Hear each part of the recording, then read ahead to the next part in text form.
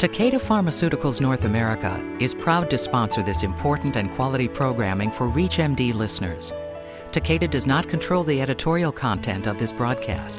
The views expressed are solely those of the guests who are selected by the AGA Institute.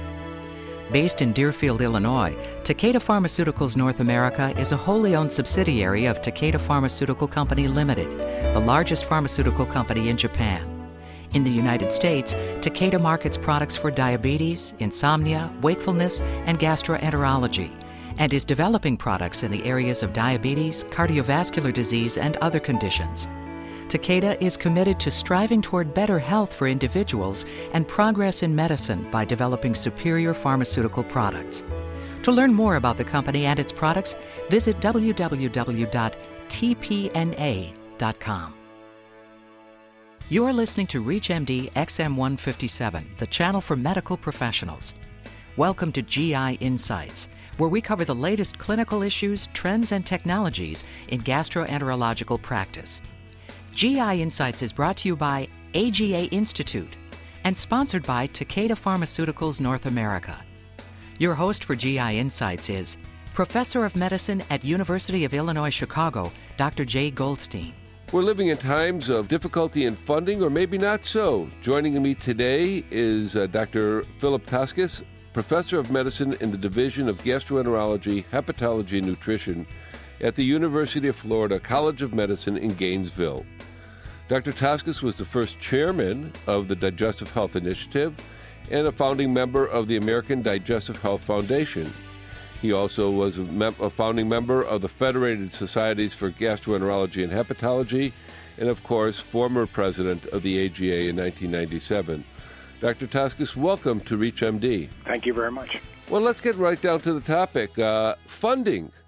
NIH funding, is it available, readily available? None of the above, all of the above? I guess it's, it's sort of all of the above.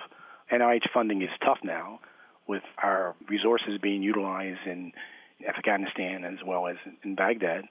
And yet, I think that research, which this country has done so well, uh, has to continue. And so it's important to recognize that NIH still puts out a significant amount of money. It's getting tougher to get. And for example, if you look at the many different grants that they give, let's just take the classical R01, which is a individual investigator related project the pay payout now is about 12%. If you are a new investigator, a young person, it's a little better, it's 14%. However, there are other grants that pay at a much easier level. And uh, I would like to point out, for example, that the K grants may have a priority score of funding at 1.60, which is so much easier than the R1. The R21, which is a exploratory grant, funds at a 140 priority score. And then finally, the small business grant mechanism, which Congress has been very, very pleased with, and a certain percentage of money has been allocated to that. That is not very hard to get. The basic point is that a investigator from a academic center partners with a person from small business and their talents then are combined to do research that often produces a product that then can be utilized to help the small business go forward and make it be a profitable venture. I've had 12 of these with a partner that I will talk a little bit about as we go on from MIT who has his own small business which has been quite successful and he measures carbon 13 labeled CO2 and much of the work that I do with probes involves labeling with carbon 13. Well, why do you think that Congress is so hyped on these small business research loans? Well, I think Congress believes that small businesses are really the, the heart of American success. And they have increased the amount of money devoted to small business grants uh, consistently. And they're not going to go away. And in fact, if they're being funded now at a priority score of uh, 215, look how much better that is than some of the other grants we've just discussed. Well, are these types of uh, research grants solely related to clinical medicine, or do they go into the translational area or uh, even into the basic science area? I think they go into all areas. I think a lot of the grants, when they first were started, were mostly clinical, but a lot of the clinical work has become translational. I was just helping a young member of our faculty who has a very translational type grant in cancer just meet with a company and they now have something that they're about to partner with.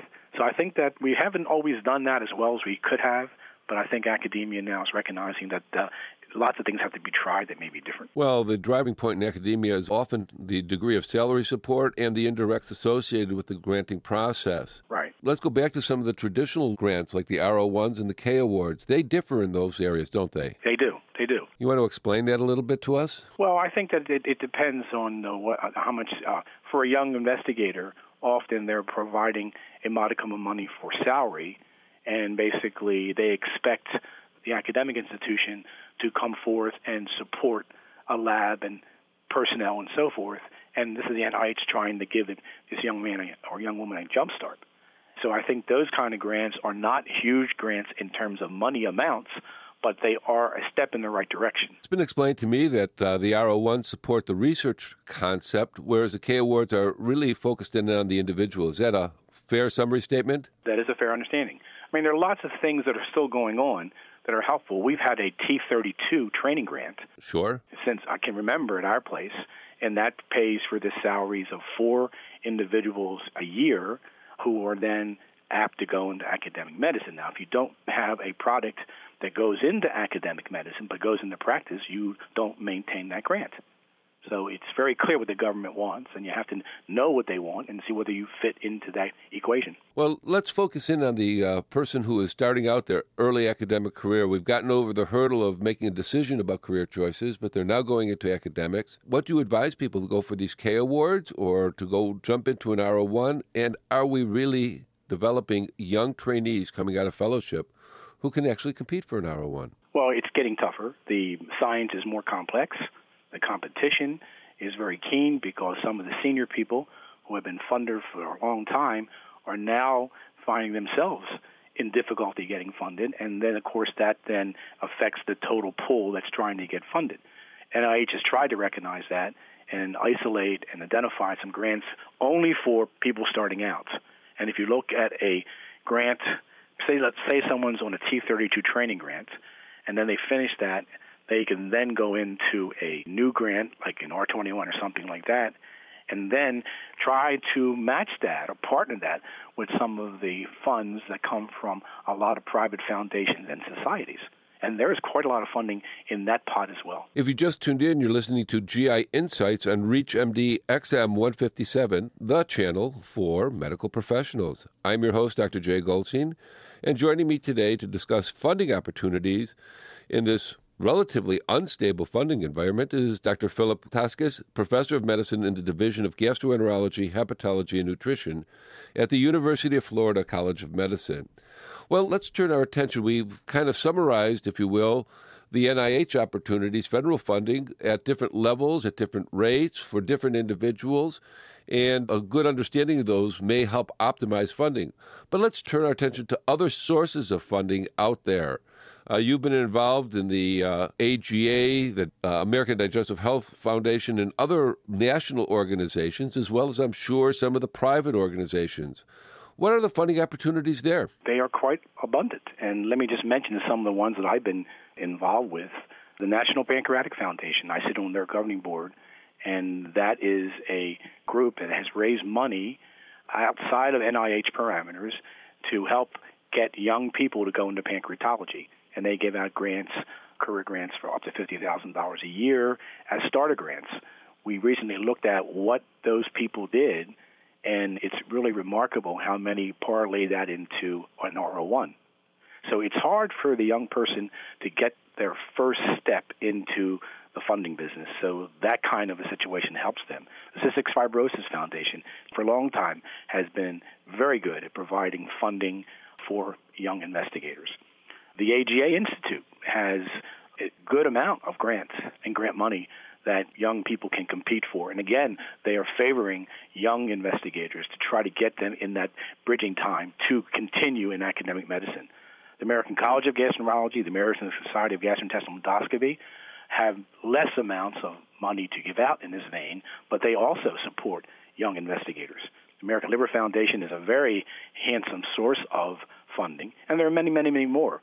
One has to have a mentor who they can sit down with and make these kinds of opportunities clear and available to the young person. Well, if you were advising a young investigator just leaving training on uh, funding opportunities and how to proceed, do you go for the biggie or do you do it stepwise and, and move from smaller grants and career development awards to greater awards? And by the way, we need to talk a little bit about the VA also. Yes, we do.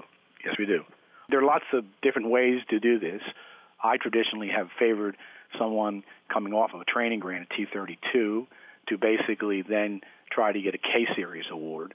And now those other awards that are for younger people, like the Ks and uh, other grants like the R21, which is an exploratory grant for new ideas, those are the ones to start with. And then you, depending on how evolving and how successful this young man or woman's career is, you may then go into some of the more traditional grants. So I think that's the way to go. All right. Well, let's turn our attention the last couple of minutes here to the VA. Is a career in the VA with funding a uh, good, bad, or just another option? I think it's another option. I began my work at Florida when I came down from the Walter Reed Research Institute in the VA. And the VA allowed me to go through my clinical responsibilities and in my research in a less stressful manner than it would be had it been at the university. And I got a career award from the VA and basically had R01s at the same time. And I found that that was a nice place to sort of grow up, if you will, and get yourself accustomed to the laboratory. The VA has had some interesting things go forth. If you're interested in clinical research and epidemiological research and outcomes research, the VA is a very good place to be and they do well with those kinds of studies. Uh, the first two words that come to my mind are foster and nurture. Yes, right. And we try to continue to do that here. It's not always easy because sometimes it's, it's not clear what the VA is understanding about what the needs are. And I think that people have said, why do you need a VA research program when you have the NIH? And I think that uh, there is room for both of these sources because, after all, it's the VA that uh, research program that often attracts good physicians to stay in the VA system. Well, we could probably spend the next hour talking about these opportunities and funding opportunities uh, for the future, but we're going to have to bring it to a close. I'd like to thank my guest, Dr. Phil Toskes, for uh, speaking with us today about funding opportunities. Thank you very much for joining us. My pleasure. Thank you very much. You have been listening to GI Insights on ReachMD XM157, the channel for medical professionals. GI Insights is brought to you by AGA Institute and sponsored by Takeda Pharmaceuticals North America. For additional information on this program and on demand podcasts, visit us at ReachMD.com and use promo code AGA.